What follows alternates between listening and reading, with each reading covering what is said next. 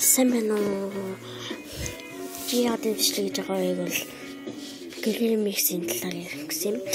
Grimix бол бичлэгээ гарахгүй байгаа. Тэгээд тийм болохоор би энэ бичлэгийг зориуд хийж байгаа.